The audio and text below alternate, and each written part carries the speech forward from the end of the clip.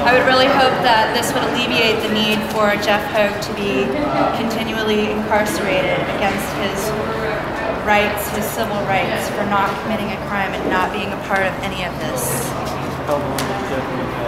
Jeff has been in jail since May 18th, and Mr. Engdahl and the rest of the prosecution team have threatened to hold him there until March of 2007. What's he doing in there? He's he's hanging in there, and it's been extremely difficult.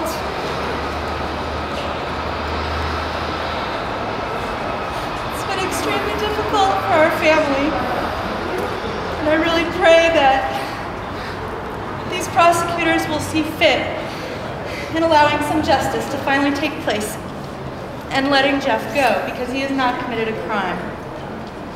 And I really appreciate that you are, are willing to continue on the follow-up of this story. Media. Thank you. I'm Cecilia Story, I'm Jeff's partner.